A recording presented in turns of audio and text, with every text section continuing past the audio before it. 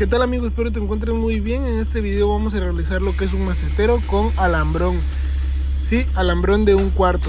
Eh, eh, vamos a cortar seis piezas de 24 centímetros y vamos a formar lo que es un triángulo. Vamos a puntear las, las tres esquinas y así lo vamos a hacer eh, dos veces en este caso. Y pues bueno, también vamos a requerir lo que serían tres piezas de 43 centímetros para formar lo que sería un tipo cubo de esta manera.